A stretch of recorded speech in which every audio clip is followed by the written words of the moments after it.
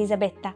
Oggi siamo qui per parlare del nuovo corso di storia, Generazione Storia, che già dal titolo ci dice qualcosa in più sulle sue intenzioni, quelle di avvicinare gli studenti e coinvolgerli nello studio della storia, che poi è la loro storia. Quali sono gli strumenti all'interno del corso che favoriscono il coinvolgimento nella narrazione storica?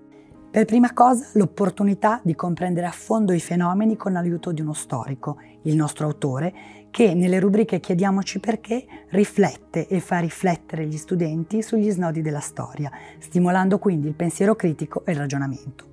Un altro aspetto chiave che direi parla proprio alle nuove generazioni è l'importanza riservata nel testo alla parità di genere, cioè l'ampio spazio dedicato alla storia delle donne e ai personaggi femminili, che vengono trattati all'interno del profilo del testo, quindi con un approccio realmente inclusivo a questo tema.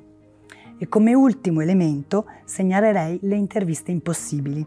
Sono interviste a personaggi della storia e della cultura, donne e uomini, che narrano in modo informale di sé e del contesto storico in cui sono vissuti.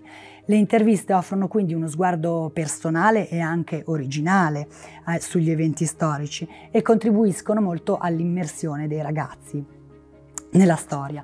Questa immersione è aiutata anche dal fatto che le interviste sono anche degli audio che i ragazzi potranno ascoltare, quindi come delle vere interviste. Mi sembrano tutti elementi molto interessanti. Dal punto di vista didattico, invece, ci puoi raccontare qualche caratteristica peculiare del progetto?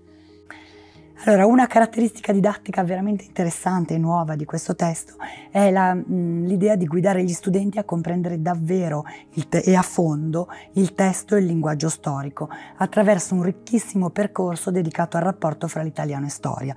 È un percorso che è fatto di diverse rubriche, dalle più semplici come quelle di glossario a rubriche eh, come le famiglie di parole, quindi da una parola importante il suo significato e tutte le parole derivate, alle parole di che ruotano intorno a un tema, quindi le parole del cristianesimo, le parole dell'illuminismo, le parole della rivoluzione francese, o anche ai più divertenti perché si dice, quindi che partono dai modi di dire della lingua italiana, eh, come andare a Canossa, lavorare come un certosino, per spiegare appunto ai ragazzi l'origine storica di questi termini.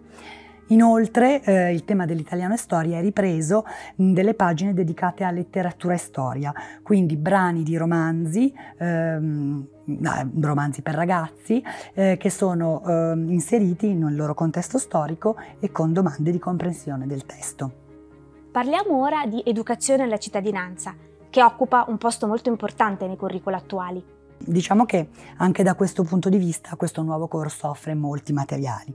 All'interno del testo, nei capitoli, ci sono schede dedicate all'educazione civica, quindi che partono dai concetti base come quello di Stato, cittadino, Costituzione, per arrivare ai grandi temi dell'oggi come i diritti umani, la salute, oltre a questo, mm, al primo volume è allegato un testo, Generazione 2030, di educazione civica, quindi che accompagna i ragazzi in un classico percorso di educazione civica, che è eh, impreziosito da una serie di mappe interdisciplinari che sono utili naturalmente anche per la preparazione dell'esame di terza. E invece Elisabetta parliamo di digitale, c'è qualcosa di nuovo in questo progetto? Eh, sì, io vorrei nominare i video ripasso, che sono una novità che sarà un po' in tutti i nostri corsi quest'anno, ma eh, nella storia sono particolarmente importanti.